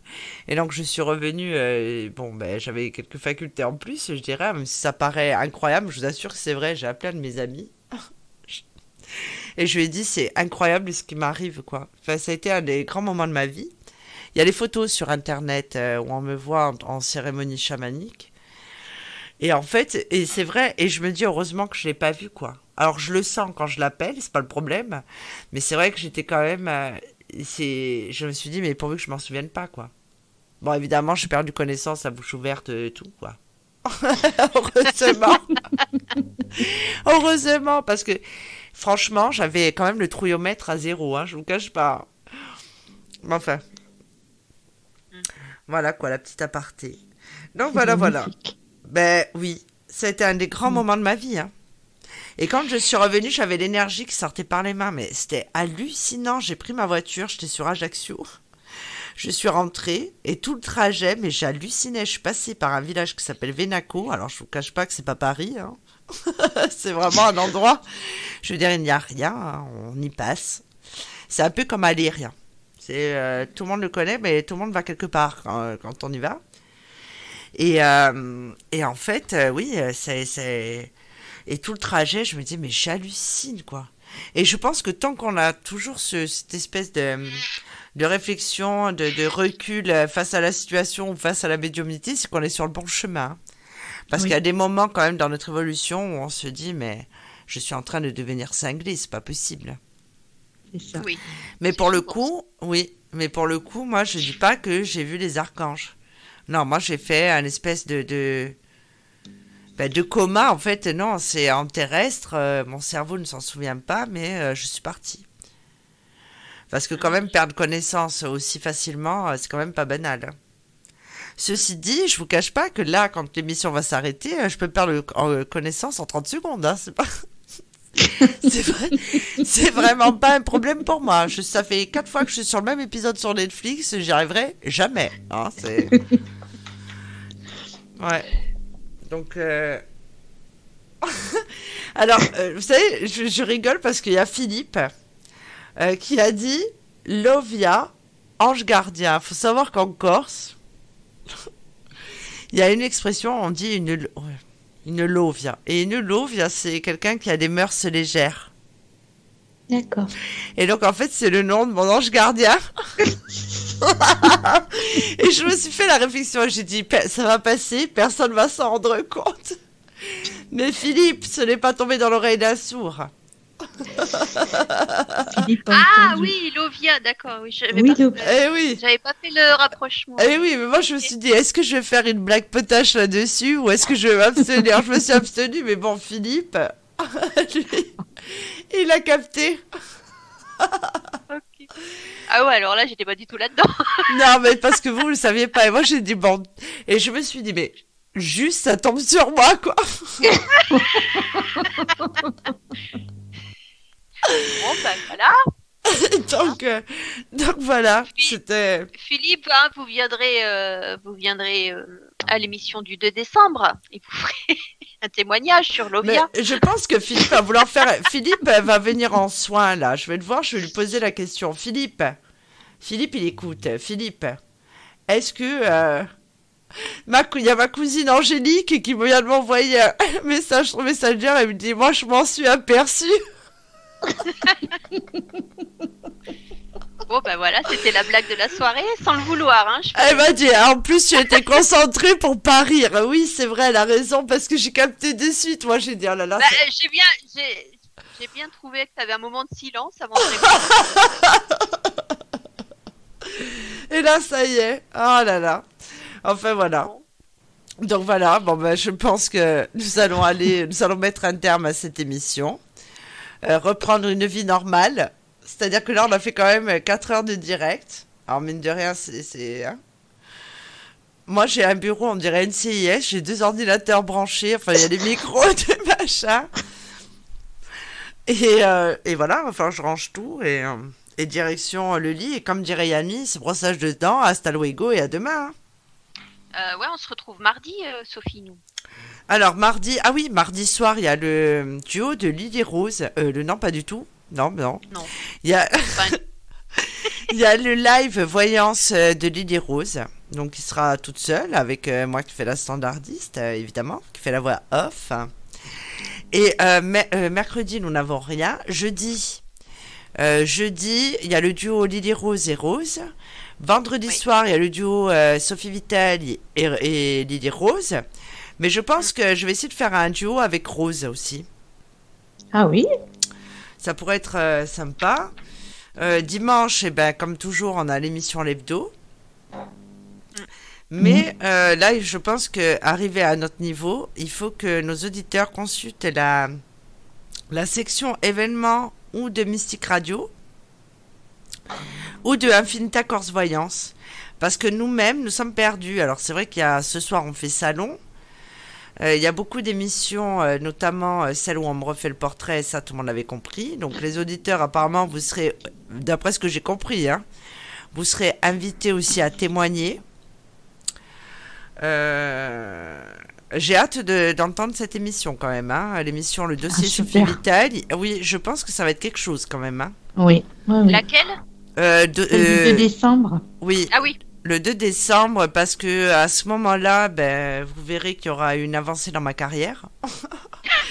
Trop- qui sera peut-être, qui sera peut-être démoli par l'émission, mais c'est pas grave. Non, pas du tout, parce que trois jours avant, trois jours avant l'émission, il va se passer quelque chose de pas banal. Je vais avoir une avancée majeure dans ma carrière, sachez-le les auditeurs. Je, Ouais. je ne peux pas vous le dire pour le moment. Bah non, Non, Donc, non, suivez- tu, diras le nous. 2, tu le diras le 2 décembre. non, le 2 décembre, ce sera déjà sorti. Mais euh. Ouais, non, euh, vous verrez.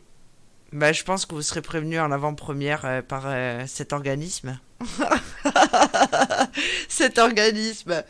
Non, non, mais vous verrez, euh, d'ici là, euh, il y aura des choses qui auront changé.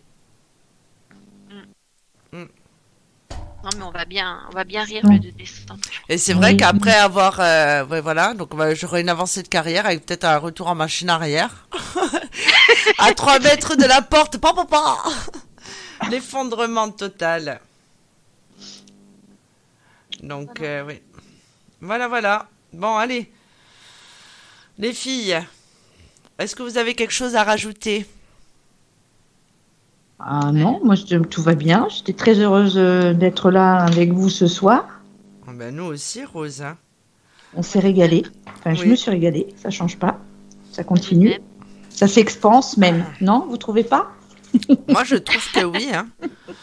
Donc, euh, je vous rappelle ben, euh, qui nous sommes, au cas où. hein.